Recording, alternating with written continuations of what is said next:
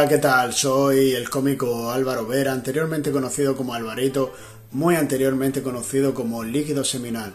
Y nada, para anunciaros que los días 2 y 3 de febrero eh, se proyectarán en la Casa del Cine una serie de cortos de, de Disney que ya hizo el mojacareño Walt Disney en su tiempo, en 1928.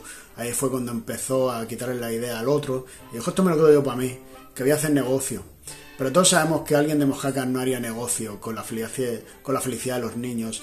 Y joder, si es que lo tenía todo igual. Es que nació entre casa encalada y burros cargados de jarapa. Y de ahí su, pues, su, su creatividad. Y nada, que él lo único que no quiso nunca es hacer negocio. Él siempre, simplemente quiso hacer ver la sonrisa a los niños y, y negocio no hizo. Y nada, que disfrutéis mucho de los cortos que veía en la Casa del Cine, que os lo paséis muy bien y que viva la Casa del Cine por estas iniciativas culturales tan maravillosas y tan pedagógicas.